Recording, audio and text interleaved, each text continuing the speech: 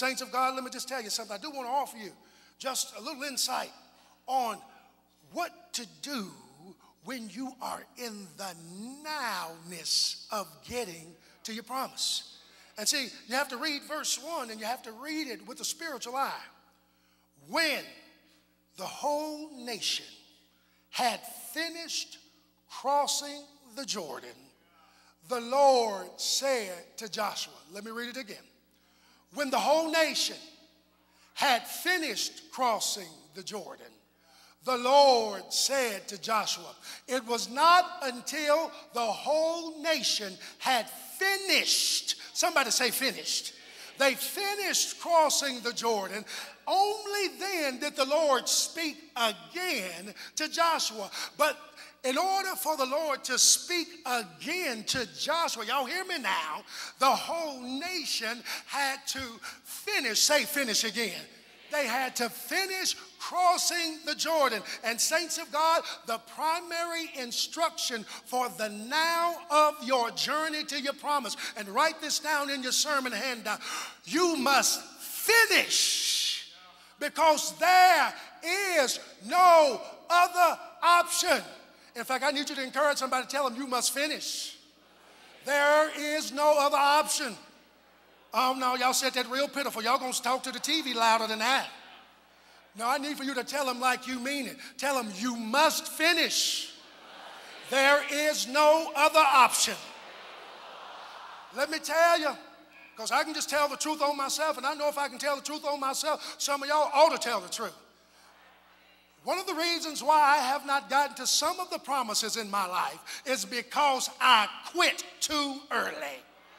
Is there anybody else who can bear witness? That it started looking rough, it started looking shaky, the, it got hot on me. Sometimes the enemy was coming from also, and so instead of tunneling through, I quit too early. But let me tell you something. How is it that you finish? First thing is, write this down you have to keep renewing your mind. Uh huh.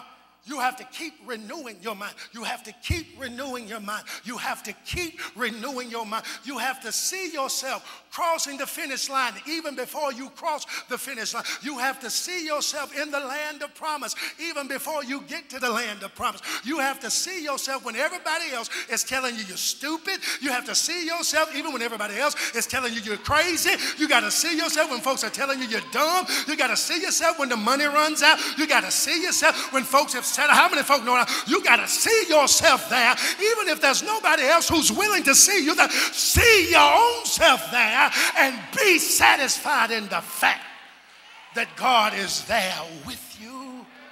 But then also, as you keep renewing your mind, the other thing you got to do, you got to keep speaking it. Because uh, if you can get it in your mind, it will permeate your whole spirit. And then it will come out of your mouth. What needs to come out of all of our mouth?